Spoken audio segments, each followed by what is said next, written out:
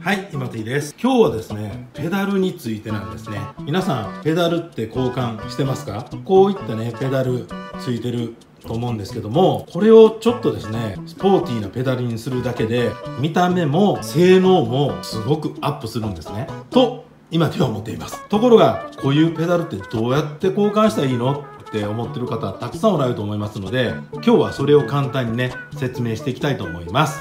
まずペダルの外し方なんですがこいつを外していくんですね。ここにスパナーをこうはめてぐるんと回していくわけなんですけどここの大きさがちょっと特殊でこの15この15っていうのが基準になってるのでほとんどのペダルがこの15で取れます。でこの15ってなんかねこういうスパナーのセットを買った時に入ってなかったりするんですね。なので15を探してきて1本バラで買うっていうようなことが発生すると思うんですけどもまあこういうのをねえー、買ってきたらいいと思います。そんなに高いもんではないですね。でこれをここにこう差し込んで回していくわけなんですけどもこれ回し方があるんですよね。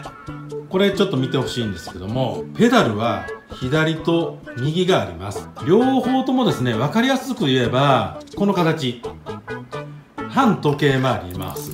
全部ねこう後ろ後ろを基準に反時計回りに回す。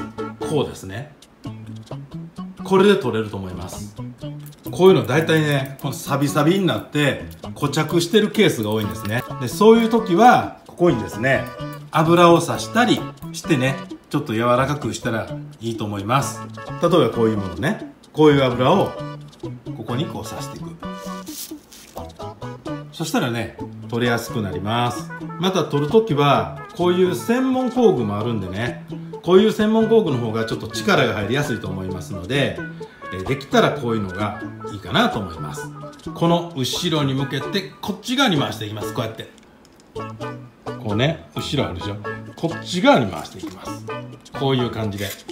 こう後ろにしておいてこっち側に回していく。後ろにしてこっち側。反対側も一緒ですね。反対側も後ろに向けて反時計回り回していく。これで取れます。はい。緩まったら手でもねこうやって取れますんでこうやって取っていきましょう。今はね右のペダル。右足のペダルを外しています。はい取れました。そしたらペダルにはだいたいこのほら R って書いてあるでしょ？ここ。R 右。左はレフト。L ですね。だいたいどっかに書いてありますのでこの右左間違わずにねつけていきましょう。はい。こういうダサいやつはねいいですもん。はい。こういったやつを購入しました。これもねそんなに高いやつではないです全然。でも見てください。ポツポツついてません？ポツポツ。これがね靴の底とギュッとこうひっついてね何て言うんですかね。漕いだ時にすごく漕いでる感出るんですね。すごく力入ります。そしてここ見てください。ここ R って書いてあるでしょ？R って。これが右用です。じゃあこれをつけていきますね。つける時はここにこういうグリースをねこういったねグリースをこうつけていったら次取る時とか取りやすいですね。グリスをつけています。そしてここに入れていくわけです。はい。じゃあどうやってつけていくかなんですけども取る時はこう外したんで逆ですね。時計回りに回していったらつけてついていきますね。時計回りにここにスパナーを入れて時計回りにこうやって回していきましょう。時計回りにやっていくんですけどもペダルが一緒に回ってしまいますんでちょっとちょっと撮影しながらなんでペダルが一緒に回っていくんですがこれをここにスクーパナ入れてこの時計回りに回していきます。ちょっとあの撮影しながらなんでペダルが一緒に回ってしまうんでペダルも押さえてですね押さえて時計回り回していく。そしたらペダルがついていきます。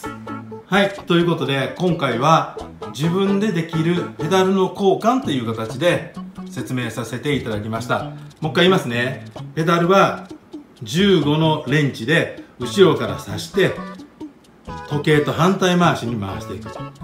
逆側も一緒ですね。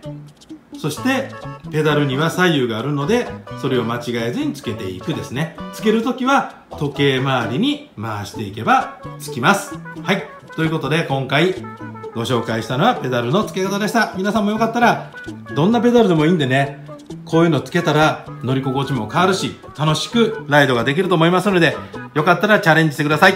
今 T でした。